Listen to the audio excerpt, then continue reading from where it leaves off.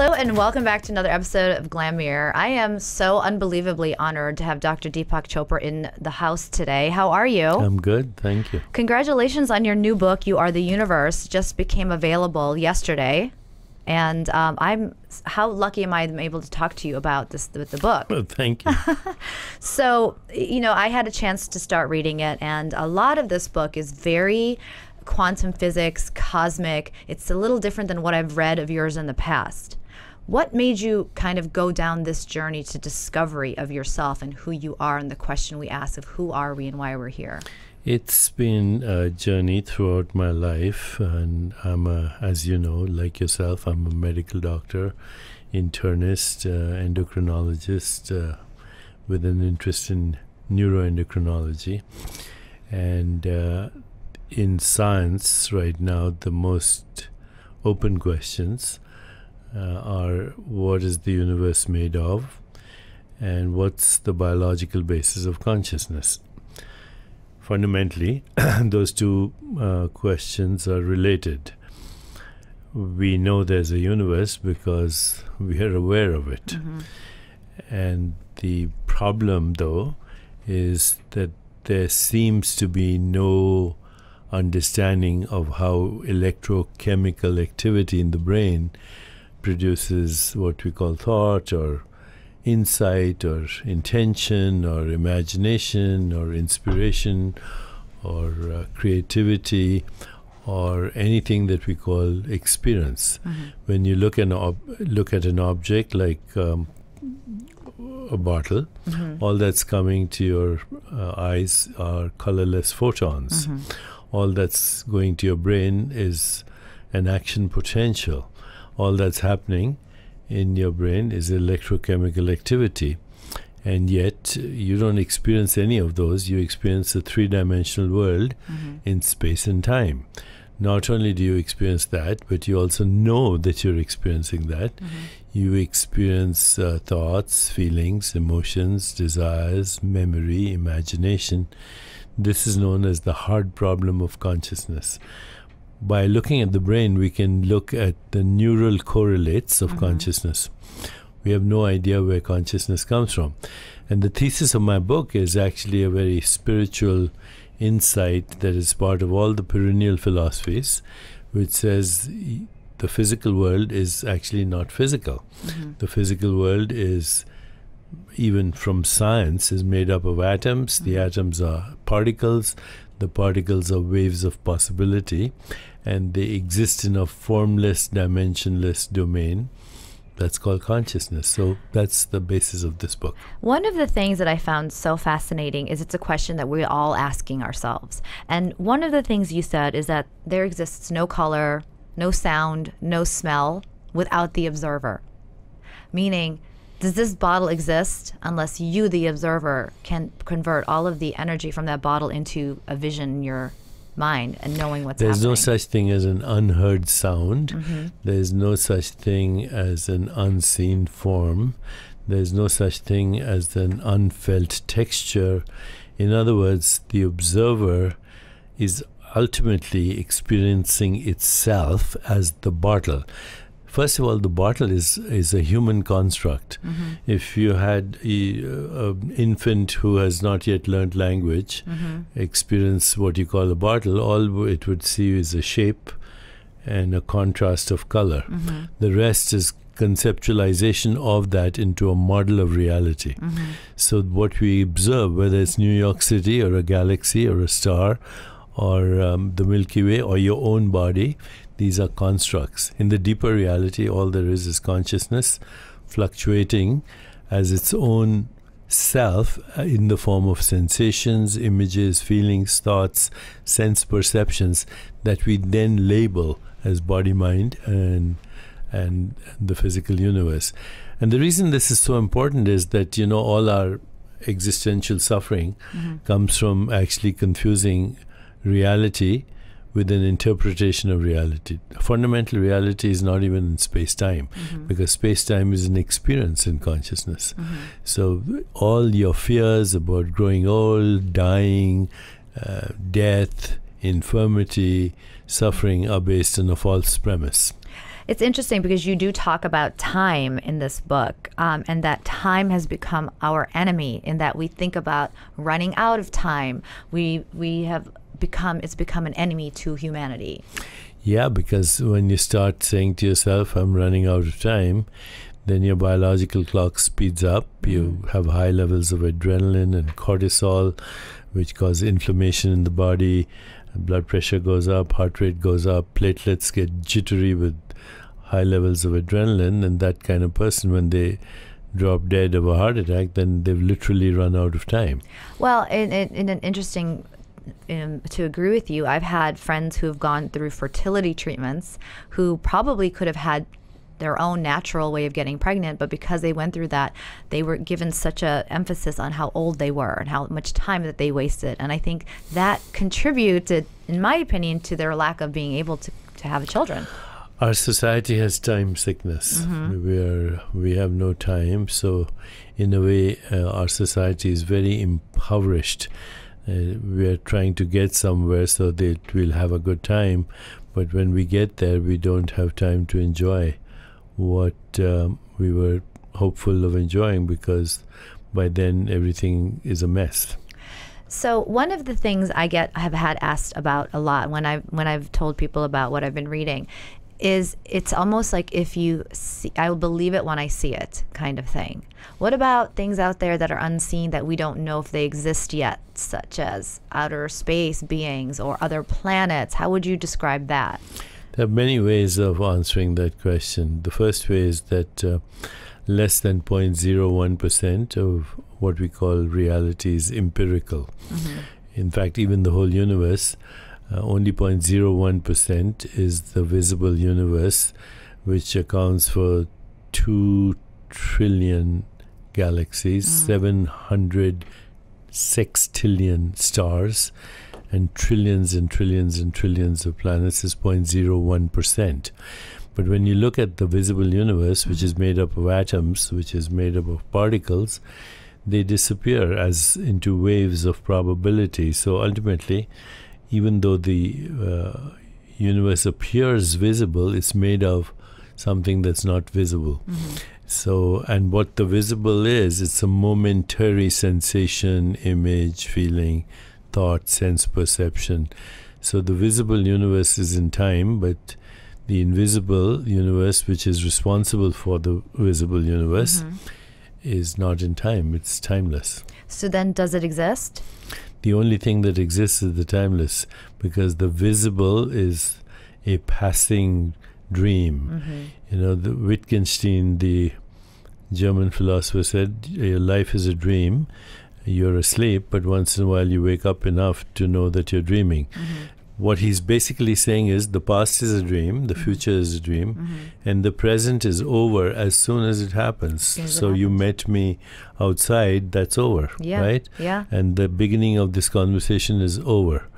Okay, the conversation yet to come is not yet. Mm-hmm. The last part of my sentence is new, but the beginning of my sentence is over. Mm-hmm. So there's nothing that you can actually hold on to. So everyday reality is a dream, mm-hmm. but the awareness, the consciousness, the invisible reality mm-hmm. is the only reality. What do you tell people who? No, before I ask you that, what about a different people? For example, I'm here in New York City. There might be somebody in the middle of another country, Malaysia, who's never seen a, a water bottle before. Mm-hmm. How do you describe each of our universes? you are each creating your universe. And so that's the whole point of the book that we take sensations, images, feelings, thoughts, sense perceptions, we interpret them into what we call everyday reality. So when the white people went to the Trobriand Islands, they had no concept of boats. Mm-hmm. And they said to the people who landed there, How did you get here? Mm-hmm. and the visitors pointed to their boats and all the local people could see were pixels mm-hmm. the world is uh, it's a, like a Rorschach chart Yeah. before you interpret it into experience. If you take a group of kittens and you bring them up in a room that has only horizontal stripes, they will grow up to see a world that's horizontal. If you take a group of kittens, bring them up in a room that has vertical stripes, they'll Mhm. grow up to see a world that's vertical because their brain neural networks actually reinforce the interpretation of the experience they've had in Mhm. early childhood. Mhm. That's true of all of us. We are culturally programmed, religiously programmed, economically programmed, on and on, historically programmed. And only when you start to question your everyday reality, you realize that the entire universe that we experience, even science uh, interprets, is a human construct. You're experiencing a human universe Mhm. uh, sitting here in New York City. Mhm. You're not experiencing a dolphin universe or a crocodile universe or a bat universe. Each species is constructing and conceiving its own, and within the species, culturally, Mhm. and um, you know, depending on your programming, you're experiencing a small fragment of reality, which you call reality. Is this what you mean when they say your universe expands? Because what I'm listening is makes sense in terms this is my universe, this is what I've created, the places I've been, the colors that I've seen, the foods that I've tasted. Um, when they talk about universal, your universe expanding, what does that mean to you?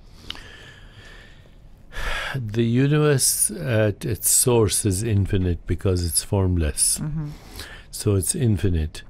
Each of us is like a little tributary from that ocean of consciousness. And each of us is uh, is a fragmented mind. As we expand our awareness, our reality expands. So knowledge is different in different states of consciousness. Reality is different in different states of consciousness, and um, even the brain is different as your Mm-hmm. universe expands because your brain and the universe co-evolve. Mm-hmm. You know, you have to have this brain to experience the Milky Way galaxy. Mm-hmm. If you had a chimpanzee brain, you wouldn't experience the Milky Way galaxy. Mm-hmm. Now we are exploring, extending the range of our senses through Hubble telescope and all this, and we're finding that the universe goes on and on and on. The cosmic horizon is 47 billion light years away from where we are having this conversation. So, education and experience of us is what expands our consciousness. Yes, but at the root, there's only one consciousness. We are like little ripples in that ocean of Mhm. consciousness So, we're all in our individual journey to understand that. As humans. As yes, humans. as humans. Um, one of the questions I received, I feel um, you've heard this many times, it's what about the consciousness or the universe of an animal? Um, a lot of animal lovers have beautiful lives with their animals, and um, they want to understand that. Yes, so you cannot know the internal experience of an animal, but there is a leaking of your consciousness in the animal consciousness, which is transpersonal, so you can have a relationship with that animal. So, as I was saying, Bo, uh, Obama's dog in the White House, didn't know that Obama was the president of the US or it was sitting in the Oval Office. Or, you know, now it's in Hawaii. Uh-huh. That is, those are human constructs Mhm. but yet they had a relationship and that relationship is love it's empathy it's a deeper relationship even of respect without without the concept of respect there's still that feeling Mhm. if obama was mean to his dog bo then the dog would reciprocate Mhm. so animals have memory animals have consciousness animals have feelings there's a difference though if you kick your dog Mhm.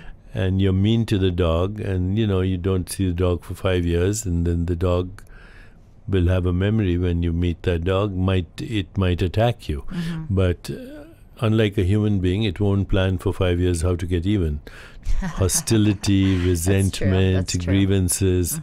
these are only human traits other animals are much more innocent And also, you know, that's a great way to answer that question because it was a very common question that a lot of people were asking me. Because the way I read the book, as the observer, you are the reason, you, you are the universe because as the observer, you're creating your universe. But we're part of a larger, um, exponentially unlimitless universe. Yeah, you know, Rumi, the, po- the poet, Sufi poet, he Mhm. says, Once I was a mineral and I was asleep. Mm-hmm.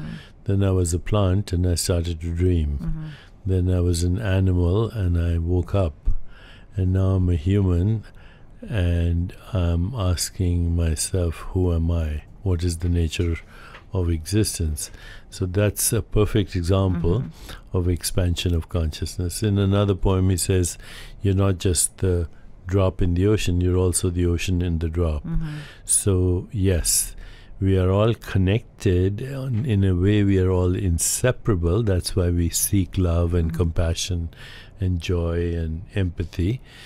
But at the deepest level, it's not just connected, we are one.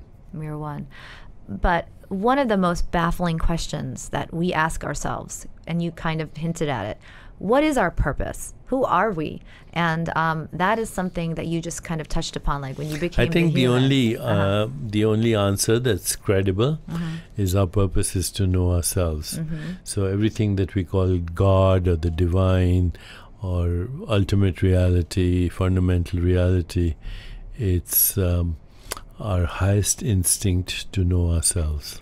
You said something um, many times that I've heard you say that we are experiencing um, this on a, in our in our human form, and what does that mean to you? The universe is looking at itself through human consciousness as the universe that you see. New York City, a star, a galaxy, a rainforest, a jet plane. Um, other species are also the universe looking at itself in different ways. So there are innumerable, almost infinite seers, modes of seeing, mm-hmm. and infinite sceneries all within one consciousness. Infinite observers, infinite modes of observation, and infinite universes observed. There's no such thing as a universe. Mm-hmm. There's no such thing as the picture of the world. Mm-hmm. It's just how you process not even energy and information, how you process consciousness into that experience, which we ultimately say energy, information, matter, Yeah. etc. One of the things I had heard you talk about too is um, if it if you don't see it, does it exist? So the whole age question of if a tree falls in the forest and no one's there to hear it or see it, did it fall? No, it did not fall, and there was no sound. Um, there's no form mm-hmm. in the absence of seeing, mm-hmm. and there's no sound in the absence of hearing. Mm-hmm. and that hearing and seeing are activities of consciousness. so the universe is a construct in consciousness. You, as consciousness, conceive, govern, construct, and become the process that you call body, mind, and universe. In the deeper reality, there's no such thing as a body. Mm-hmm. There's no such thing as a mind. There's no such thing in the universe. So if you can see something, mm-hmm. it's not real. The only thing that's real is the unseen observer, which makes the seeing possible. Now, As a momentary, fragmented aspect of its own self. now I'm processing that, and I, I, I really want to understand that better. When you say that there's no such thing, that's a deeper level of understanding. That how can we get there? Okay, so how do you experience your body? Um, the way I look at it, the way when I get dressed, the way you know I do my hair, I'll do my makeup, I'll put my clothes on. So if it gets bigger, if it gets smaller, Okay, so what is that? That's sensations, Mm-hmm. images, feelings, and thoughts as a process Mm-hmm. in consciousness that you call your body. Mm-hmm. Now, was that process the same when you were an infant? no, Was it the same when you were a teenager? Not the same. No, Right? The different body, Yeah. different mind. hmm So, why do you call it a body? It's a process in consciousness, a gestalt of sensations, images, feelings, and thoughts. The fact we call it a body, we imply it's a noun, you know, uh, but it's not a noun, it's a verb. Mm-hmm. It's, it's so what we call a, there's no such thing as a person. Mm-hmm. The person itself is a process in mm-hmm. consciousness. Once you Ah. create the idea of a person, then you also create the idea of birth and death, and then you kind of are afraid of all this. But that's just a process that you're uh, identifying with yourself. You are not the process. You are the consciousness in which the process is occurring. Mm-hmm. And that consciousness is not in time because let's say, just analyze this further, okay? When you say, Who am I? Mm-hmm. If you say you're, bo- you're your body, then which one? Mm-hmm. Right? Yeah. The body, actually, every molecule in the body today Mm-hmm. wasn't there two years ago. Right. Okay, so if you say I'm in my body, then you're stuck. Mm-hmm. Which one are you talking about? Mm-hmm. It's not a thing, it's a process. Mm-hmm. If you say I'm my mind, then you're implying you're your thoughts and emotions. Well, did you have the same thoughts and emotions yesterday or day before yesterday or as a child? If you say my ego identity, even that is expanding. Mm-hmm. So everything that you say is me is actually not me. Mm. All of that is a process in your fundamental being, which in spiritual traditions would be called spirit, soul, whatever. So, you know, the fundamental reality, which is who you are, is formless. Mm-hmm. And being formless, it is eternal. It has no form. How can you destroy it, right? Right. Only the form it takes is in time. So, do you believe in death? What does death mean I don't you? believe in birth either, so how can I believe in death? Interesting. So what you if you convince yourself through insight that every moment your body you see you're not your body mind because your body mind is also a process in you right Yeah. it's an you can be a spectator to your thoughts Yeah. which means you're not your thoughts right. you can be a spectator to your emotions to your body which means who's the spectator right Hmm. so once you get that clearly then you realize that everything that you call body mind and world is a reflection of yourself number two the the real you was never born so because it's not in time since it was not born it can't die Number three, the essential nature of reality is that it doesn't have an ego. Does anything have an ego? Mm-hmm. Does a plant have an ego? Does a dog have an ego? Does a star, a galaxy? Does your body mind actually have an ego, or is that also a social construct? yeah. So it, that's number three. Number four, if you can see it, touch it, taste it, smell it, think about it, imagine it, uh, conceptualize it, uh, it's not real. Not What's real. real is the unseen Hmm. in which all that happens. That's so interesting to look at it that way because I've never, it's almost like you're reversing the mirror on yourself. Correct.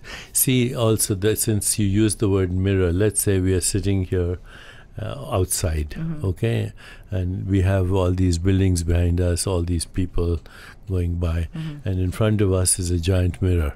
And even in the mirror, you'll see each one of us Mm-hmm. in different locations, right? The building is there, you are there, there's a Mm-hmm. dog, there's a bus going there, there's a cyclist going there, there's a taxi going there. But they're all in the one mirror, Mm-hmm. right?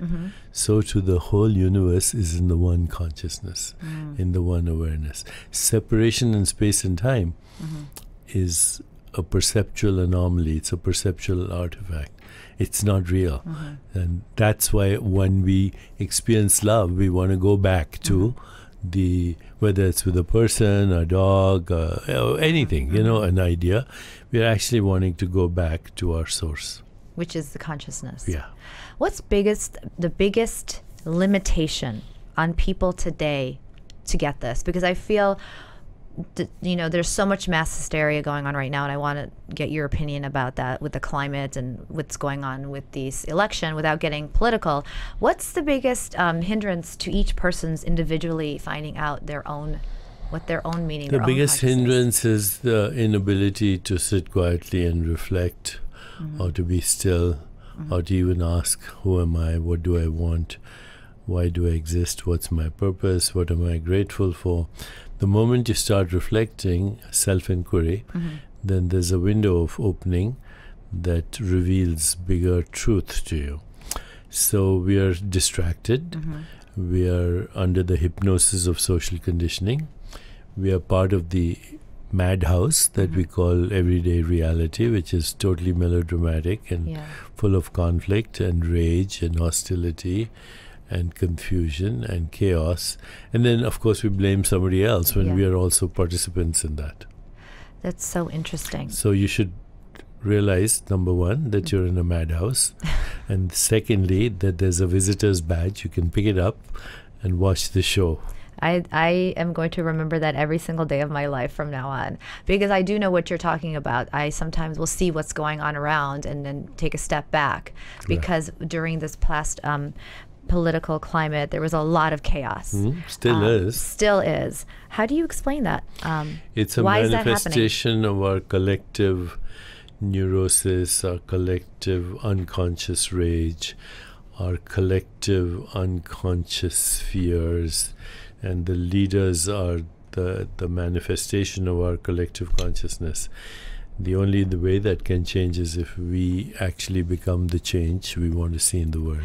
Now, that's such a powerful statement, but I think sometimes when people say these things, they stop hearing what they are Yeah. mean. Yeah. Um, so, can you say something to me so that people will hear? Because that is such a Well, powerful if you statement. want peace, then you have to be peaceful. Otherwise, you'll be an angry peace activist Mm-hmm. and you'll burn down a building, and that's not being peaceful. So, peace can only be created by those who are at peace. Mm-hmm. Love can only be shown by those who have loved. So, you basically have to assume, even though you don't believe it in the beginning, that at in every situation, every situation, every circumstance, every relationship, every encounter, um, you're bringing yourself into that situation, and your state of consciousness is going to mirror that situation, be mirrored in that situation. I like that what you're saying is a lot of what's happening now is a reflection of what we're already feeling and Yeah. putting out there. So Uh, we what need we to call take normal ownership. Mm-hmm. right now is the psychopathology of the average, which is a collective psychosis. Yes. so, what can we do on a day to day basis to tap into our own awareness? Um, start with the reflection, practice uh, awareness of your body, become a spectator to your thoughts, practice love. Com- you know, these are called love, compassion, joy, empathy, equanimity are called divine attitudes because they take you to a deeper reality. Sem- spend a little time in meditation. Love yourself, but love those who are around you, and slowly that influence will spread.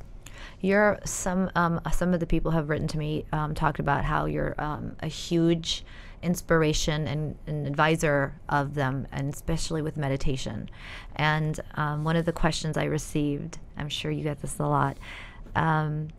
We, people have tried. I myself have tried, and sometimes I get those thoughts, and they'll start racing. And how do you control? Like, what are some tips? I, I You don't I'd be remiss- control, yeah. you just observe them and you Okay. s- notice they arise spontaneously and they go away spontaneously, uh, just like clouds in the sky or waves on the ocean.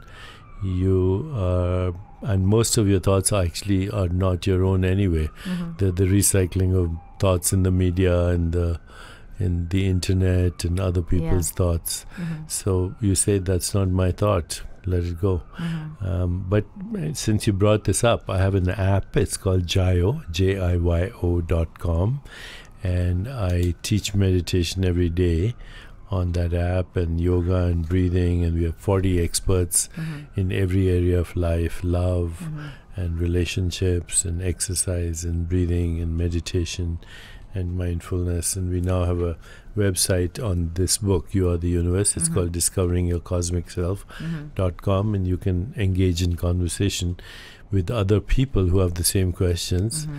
and once you start expanding the conversation everything changes Yeah. I, yeah, absolutely. Because you know, even I, I was reading this book, and um, my other, I had another friend who was, we had did two copies, so we kind of bounced it off of each other. And you know, when you're reading your book, there's a lot of information in there, and a lot of times I have to stop and think about the sentence that I've read, yeah uh, go over and over, because it means different things to me each time. of course because your awareness Yeah.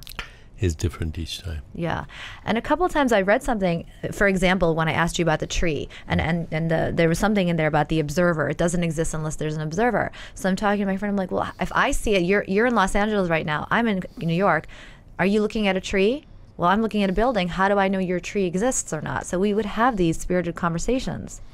By the way, there's no tree. That's a concept, right? Yeah, that's true. if if you're a baby and Uh-huh. you're looking at a tree, Mm-hmm. you don't call it a tree. All you're experiencing is sensations Mm-hmm. and colors and textures and smells. That's ask yourself what would reality be if I did not interpret it. Okay, Mm-hmm. what would reality be? It would be you Mm-hmm. experiencing yourself as everything. See, that's the most brilliant and simple way to look at everything Mm-hmm. because the reality is you observing That's it. everything. And you're observing yourself as Mm-hmm. everything. Absolutely.